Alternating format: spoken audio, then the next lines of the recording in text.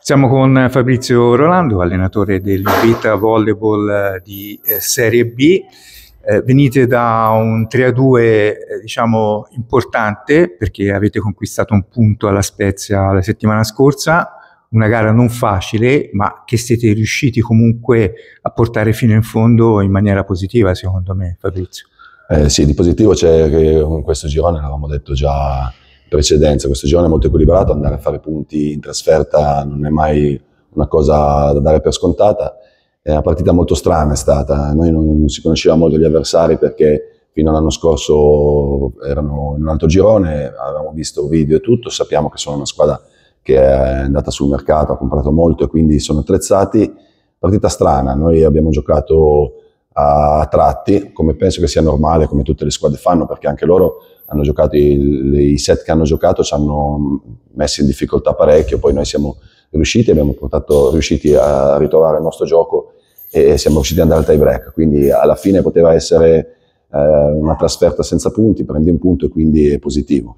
Senti, non è un caso che Spezia e Santa Croce siano primi in classifica, anche se siamo solo all'inizio del, del, diciamo, del, del, campionato, però questo è già un dato che emerge. Secondo te è un dato che potrà essere definitivo o ci saranno sorprese per quanto riguarda la parte alta della classifica che vi, che vi vede in terza posizione in questo momento? Sì, adesso c'è da dire che a causa del tempo molte, molte squadre non hanno giocato, sono stati almeno eh, tre incontri, tutti quelli del, del Bolognese rinviati perché c'è stato un maltempo, ha causato non pochi problemi, quindi la classifica dice poco, anche perché eh, bisogna vedere gli incroci, bisogna vedere chi si è affrontato, sempre bello finire con, con, dei punti, quindi noi prendiamo quello che facciamo noi, non guardiamo ancora gli altri, poi da metà del girone d'andata già quando ci saranno un pochino più di incroci si vedrà quali sono veramente le squadre più attrezzate per, per stare là in cima. Questo sabato giocate alle 21 al Palla Marroncelli di Marina di Grosseto, arriva il Max Italia Jumbo Office di Firenze.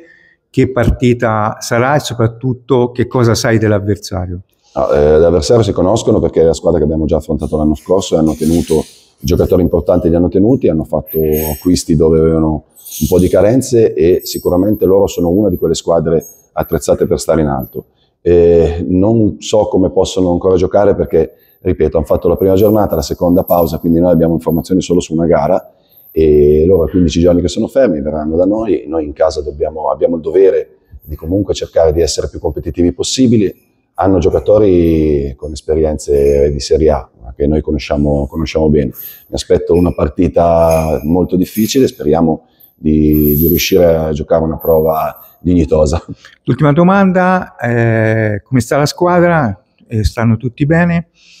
Sì, dai, eh, l'inizio non è stato facile, ma adesso da quando è iniziato il campionato riesco a vedere con costanza tutti i giocatori, non abbiamo fatto molti allenamenti, però eh, anche i giocatori importanti mi sono, tor sono tornati ad allenarsi e eh, anche lì domenica vediamo i passi sabato, vediamo i passi che abbiamo fatto in avanti. Per adesso viviamo ancora giornata per giornata e sperando di trovare un po' il filo del gioco.